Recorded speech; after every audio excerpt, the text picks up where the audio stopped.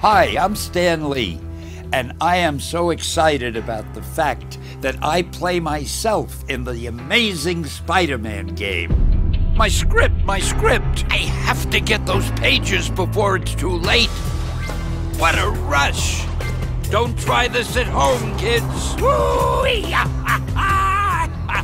Not only do I play me, but I've got just about all the powers that Spider Man has. How cool is that? This guy needs some care and attention. Let's do this! Oh, I'm definitely gonna tweet about this. You know, I really think the fans will love it. They seem to enjoy my cameos in the movies, and this takes it a step further. Another amazing appearance for the King of Cameos. Take that, Hitchcock.